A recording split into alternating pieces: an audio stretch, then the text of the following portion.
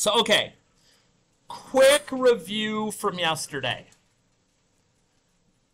The average daily balance in general, okay,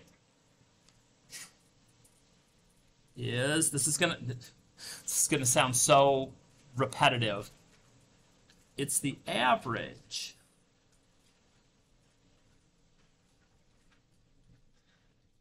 account balance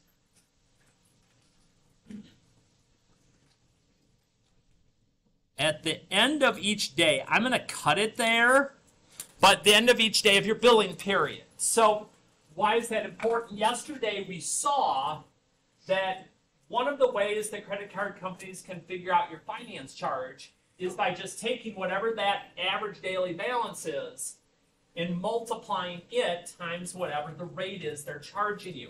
And the more it goes up or down, it changes back and forth, which can be good for you if you make payments during a month. And not so good if you keep adding new purchases, which is what we're going to see today. So you're going to notice the three steps themselves are not going to change. There's just going to be one piece that gets added in. So Again, to calculate the average daily balance, this hasn't changed. When we say the sum, sum just means to add. So we're going to add our daily balances. Now that doesn't mean that if it's a month that you're going to have 30 things you have to add together. We chunk them according to what your balance is. And most people don't pay on their credit card every single day or even make charges every single day. So it can adjust a little bit, but it won't be that bad. And we're going to divide it by the number of days. Same thing that we saw yesterday. Nothing different at all. So actually, let's do this. Instead of just screaming through these and not having any context to them, let's grab this first one down here and actually do a little bit of work on it. So to get that average daily balance, we're going to need to take these end of day balances and how many days we were on each of them. So I'm hoping, yeah, that's going to show up. Okay. Straight from here, you don't have to do anything fancy. Whoops, except I do not, I do not want to divide.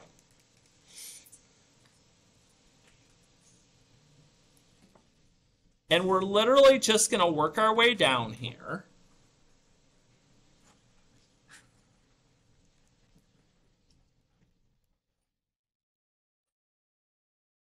Just multiplying the values. Oh dear. Hi, interruption. Hi. Can you send Mason Williams to Student Services to leave, please? Okie dokie. Thank you. Oh dear. I went way out there that time.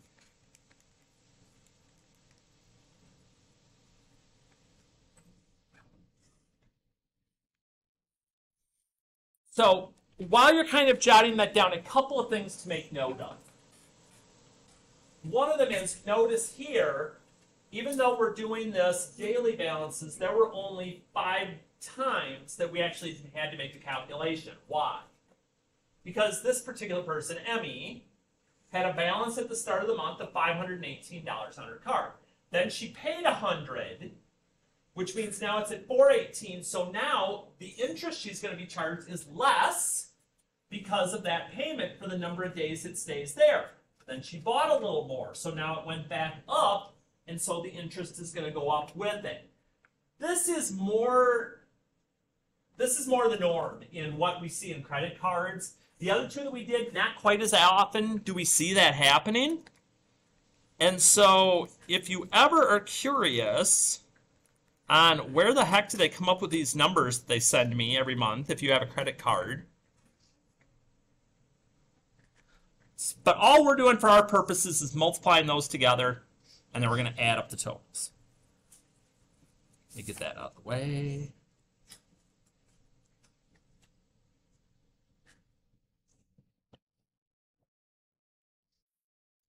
So once you have that sum, all we've got to do then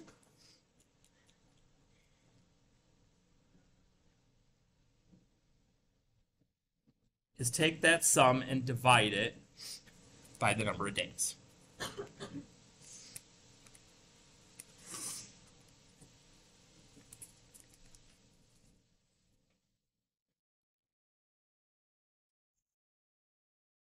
So that would be my average daily balance that I'm going to use when I'm calculating my finance charge to see what my actual balance will be. But that's all there is to it. Multiplying and adding. Can't be much more straightforward than that. So once we know that value, okay, then to calculate the finance charge,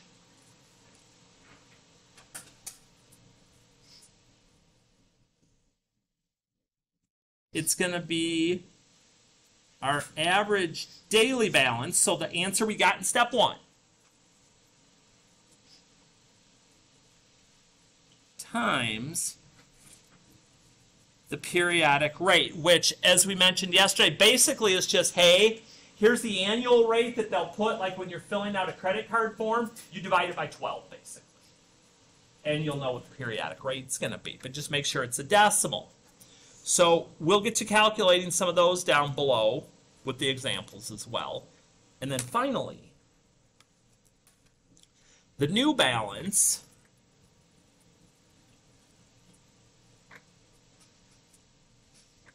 is the unpaid balance. So how much you started with at the beginning of the month. So like in Emmy's case, that would be the 518 here.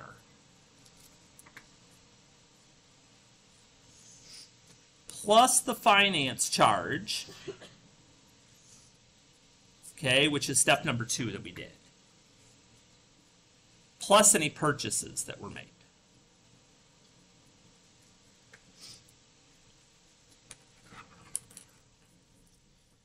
So like that, I mean, that seems pretty reasonable. Pay balances, the finance charge, any purchases, and we keep going. Because the purchases I make during the month, yes, they get added on, but as far as the finance charge goes, those also come into play. So let's do this. Let's go to the one where we get to do all the things instead of just staying in one part here. So if we come down here to the bottom, same type of stuff except Okay. Finance charge added to Robin's account because he didn't pay the last bill in full. So again, computed using average daily balance with new purchases. All the info is here. You're like, oh my gosh, there's a lot of different things. Yeah, he made payments, he made purchases, he did all sorts of things. Which is kind of strange why you'd make a purchase and then turn around and make a payment, but hey, it is what it is. So I will try to get you these numbers as quickly as we can. But you also may be well served to punch them in yourself on the calculator. Again, straight up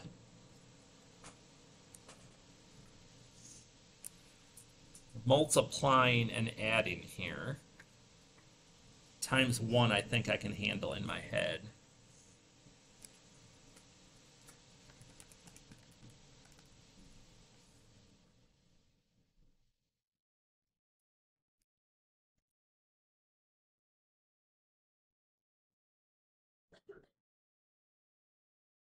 Ooh, that last one's going to be a biggie.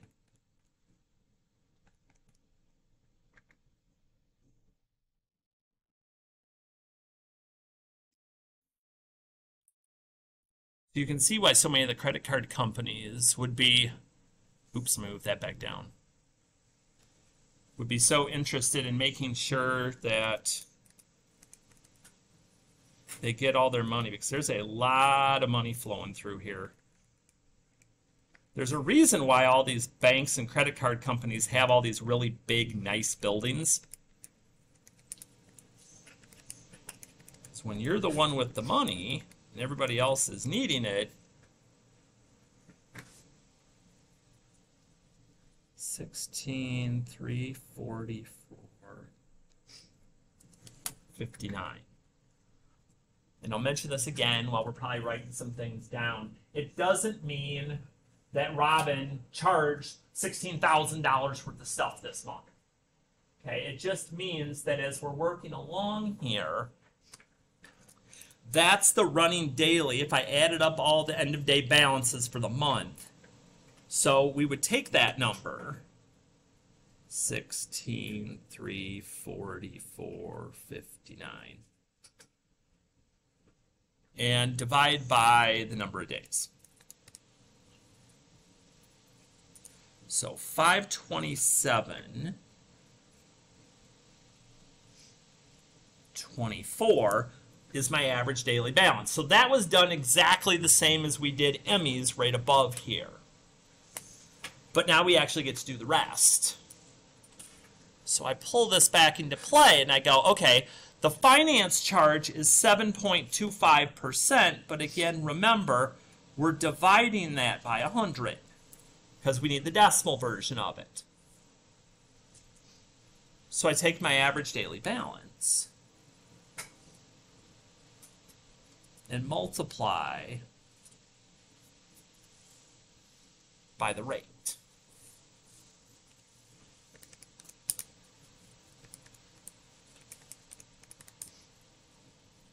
So about $38.22 would be my finance charge. And here is the last part where we have to watch it a little bit. So to get the new balance that's going to show up on my next statement, we're going to put a few things together here. We're going to have our unpaid balance, okay? And we're going to start back from the beginning here. So the unpaid balance of 590.19 minus do I want to minus first? No, we need to put finance charges first. So plus my finance charge. The one thing that we didn't mention as we were getting in here before, because we talked about the unpaid balance, the finance charge, and the new purchases, we did make payments. We made two of them for $135. So we get to take those off. It's one of the few things we get to do minus for and not keep adding, which is nice. But then since we went ahead and still made another purchase, we've got to add that back in. So 590.19 and the finance charge minus how much money we paid plus how much money we put back in.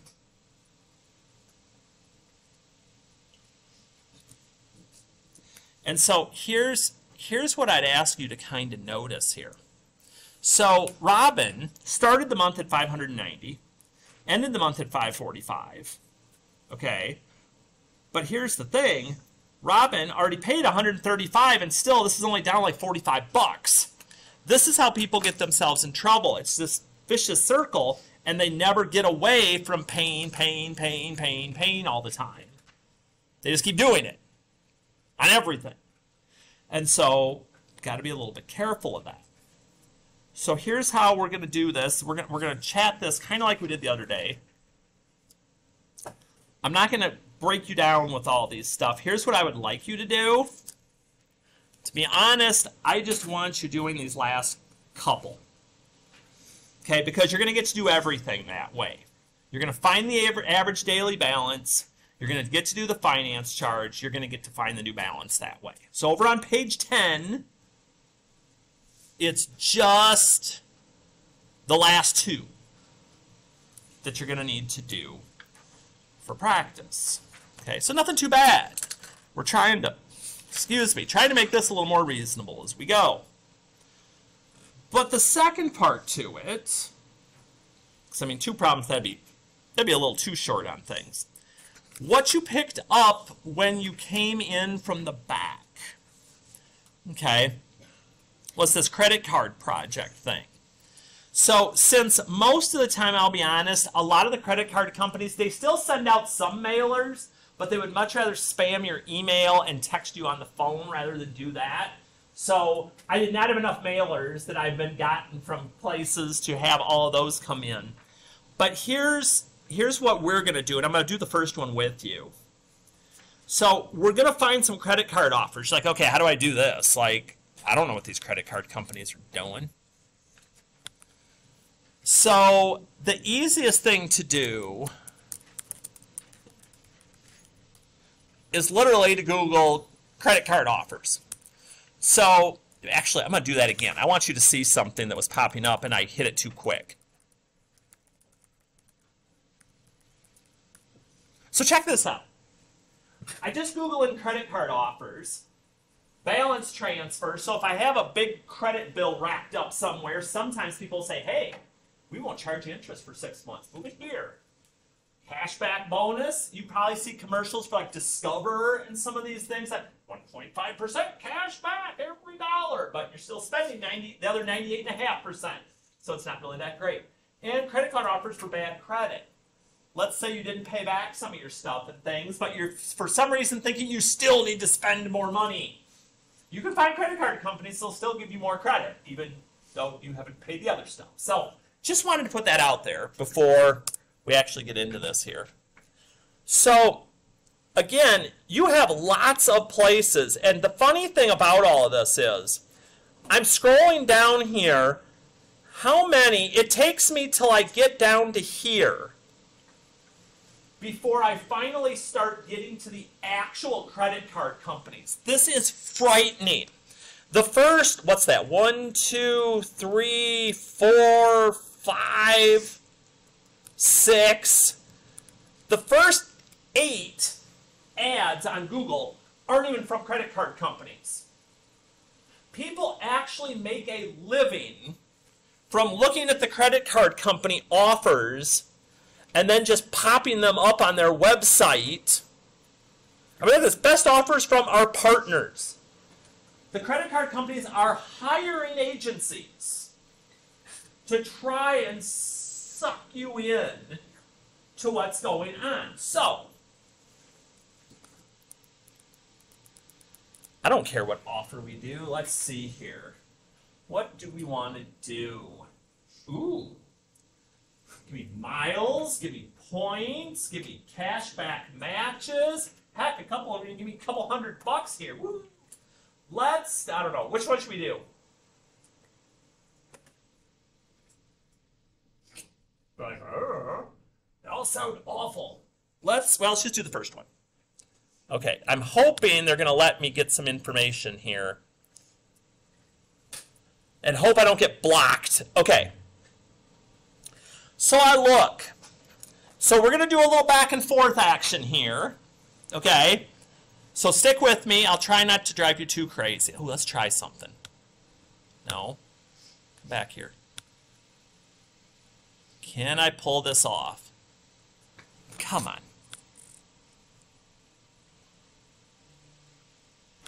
Oh. Can I shrink this?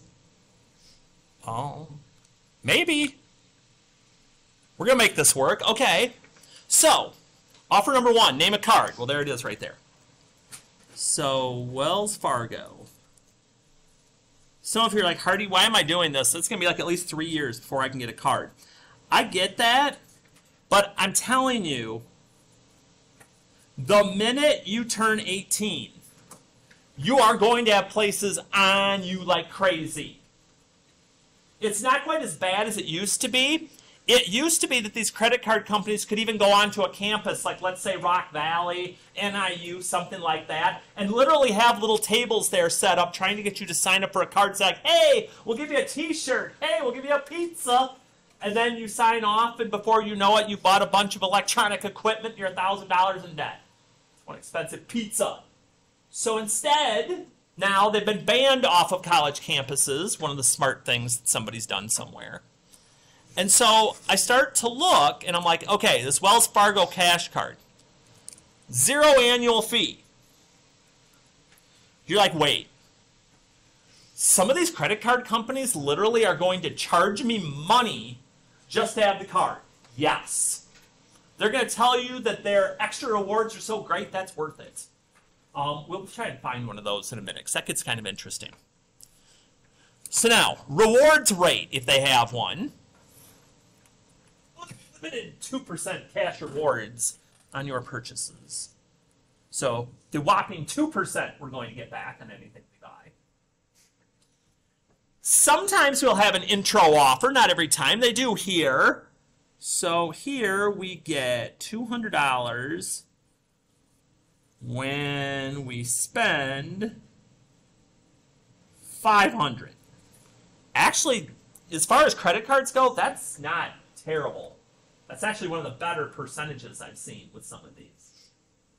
So now, here comes the rest of it that we haven't quite seen yet. So the rest gets a little more interesting. We may have to dig for some of this other stuff. Oh, there's one thing we get to dig for. So let's see. Annual percentage rate for purchases. You're like, wait a minute. So why are there all those different numbers there? Like, why isn't there just one number? So here's how that works. And we're going to write all three of them. Yes, it's zero for the first 15 months. So that's nice. I, I buy stuff, they're not going to charge me interest. That's cool. As long as I'm paying monthly, they don't mention that.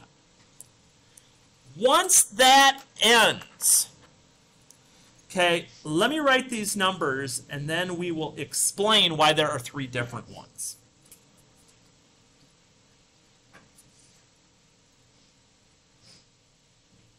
Okay, those three rates represent, they're going to break people, and they're not going to tell you how, into three categories. People that are paying their stuff back on time, paying it monthly, and then have high credit scores are going to get the lower rates. If you miss payments or you keep rolling over your balance from month to month, the further that happens, the higher the rate is going to go. So like if you miss a payment during the 15 months, I'll guarantee you're going to be at the 29.99. But again, we would divide that by 12 for our monthly from the ones that we're doing. So that's an interesting thing to take note of. Okay. Balance transfers. Now let's see. Balance transfers made within 100 will qualify for the intro rate. Okay, so here.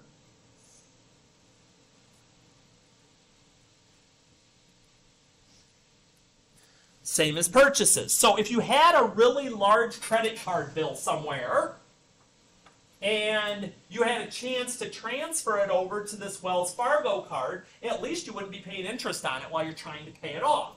I know a lot of people in the classes that I've taught before that they do this constantly. They've got a $2,000 balance. Okay, I'll move it over here for 15 months. Well, now I got it down to 1000 Where's the next credit card? So I can move it there for 10 months. So the idea is we get to zero so we don't have to keep doing that, but that's kind of what we're looking for here. Let's see, cash be. Yes, sir. So what's the interest, like, what, what, what do the credit cards get out of that, like, the company, why would they wanna give you, Why are they doing the 0%? yeah, like, Okay, because what their theory is, what they found over time is, if you transfer a balance over, if you're having such a hard time paying off your bill that you can move it, what they're hoping is, at the end of the 15 months, you don't have another option to move. You're probably going to have a balance still, and now I'm going to start getting my 30% out of you. So it's it's a calculated risk that they're taking over time, knowing that the odds are in their favor. Yeah, it's it's that hook to try and suck you in. Like those students going to class, it's just like, "Ooh, I'll give you candy if you're finishing things." They're like, "Ooh, I'll do it."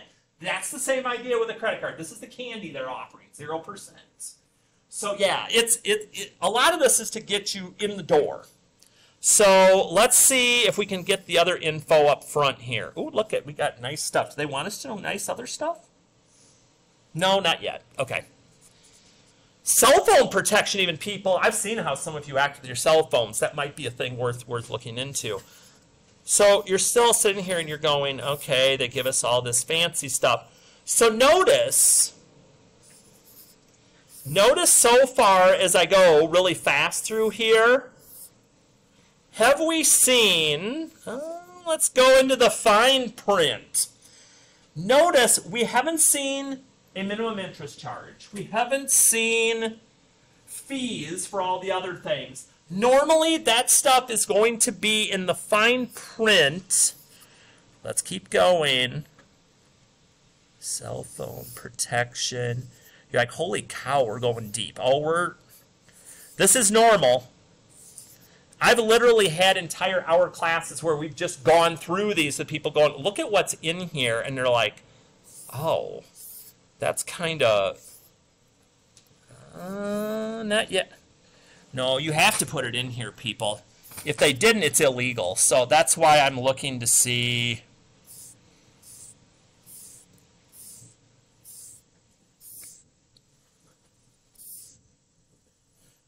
Yeah, so you even can notice with me knowing what I'm looking for.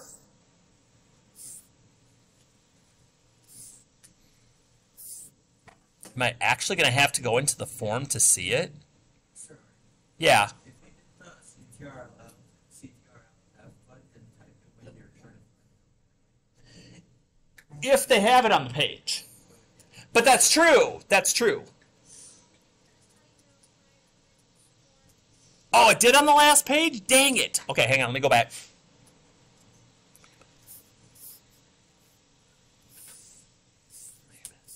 Was it down further?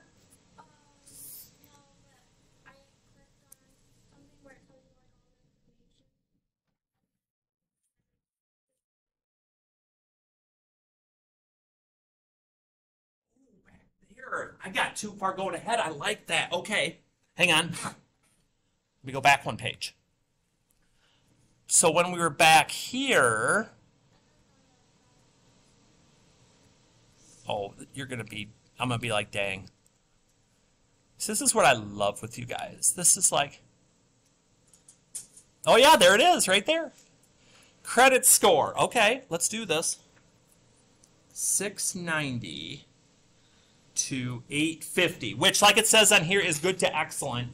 We haven't talked about credit scores a lot yet, but 850 is as good as it gets. That is the I love debt king or queen. Okay?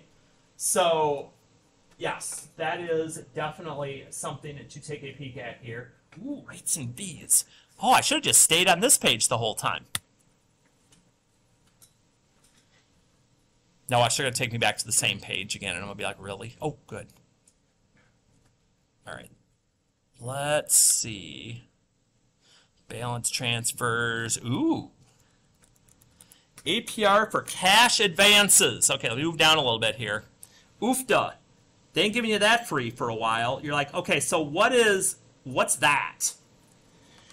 You can, in an emergency, hopefully, you can use your credit card like you would a debit card. Like if you go on the debit card says you want cash back, you're like, yeah, and it does that. You can do that with a credit card,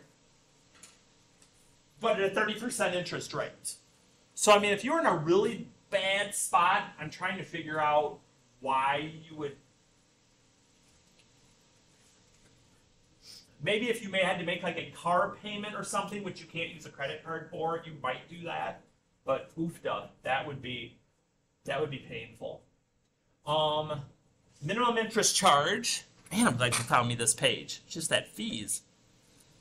Minimum interest charge is a dollar. Okay, that's no, that wouldn't be terrible. Let's see what else we got. Fees. Oh, fees. Here we come. Balance transfer fee. Okay. So it's five dollars or three percent of the balance. For most people, that would be 3% of the balance. So you're like, okay, so what does that mean? If I ba- transferred $100 over, I'd owe them, well, that'd be less, $1,000 and moved it over. That'd be $30 that I'd have to pay to move that over. So they're telling you they're not charging you interest, but they really are. Uh, let's see, cash advances. See how we keep getting nickel and dimed here. $10 or 5%, whichever is greater. So if I borrow a thousand bucks, it's going to be 50 bucks to borrow the thousand. Um, late payment fee. I like the way they put this. Up to $40. They don't really explain what would make the difference on if it's 40, if it's not 40. something like that. But do notice, how do we calculate your balance? We use a method called what? Average daily balance, including new purchases, what we were just doing. Most credit card companies are going to be doing that. Um, so this is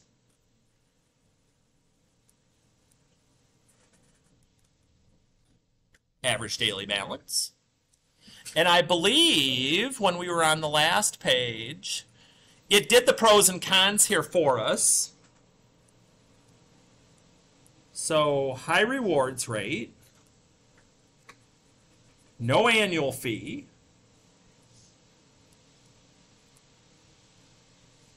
and intro 0%. That's actually pretty solid. Normally, if you're going to get something back right away, you don't get the APR with it. So, yeah, for a credit card, it's good. It's still not good, but it's it's better. It's better. Cons. Their con isn't really a big, huge con to me, but okay. No bonus categories. You're like, okay, what does that mean? There's some credit cards that like you get five percent back if you do it at a restaurant, or five percent at the grocery store, five percent if it's electronics, and they rotate those categories. Um, so that can be helpful if you do one of those things a lot. It can it can save you a little bit of money. The return payment fee. How have we not seen that yet? Or is it just Harty being blind? That's always an absolute possibility.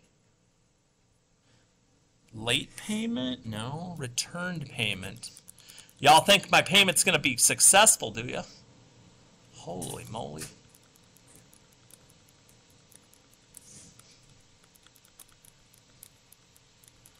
Come on.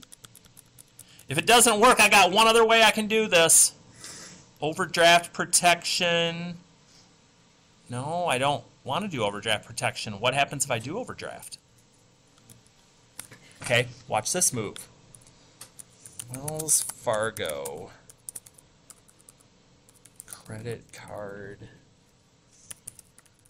Oops. Return payment fee.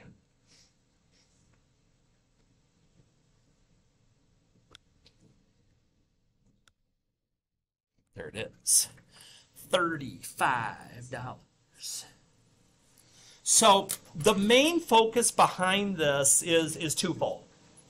When you're doing these, it's letting you start to see how much and how often every single thing with a credit card that you look at here. Dollars out of my pocket, dollars out of my pocket, percentages out of my pocket. The idea here is yes, it's it's nice to have that for certain things. But for the most part, all this is going to do is take money out of your pocket and let you have less for something else that you need. So at some point here, some point in the next week-ish somewhere, play around with a couple of more. Just to kind of see, hey, do they have an annual fee? Hey, and see how they're different in how they build and try to make themselves unique in the way that they do things.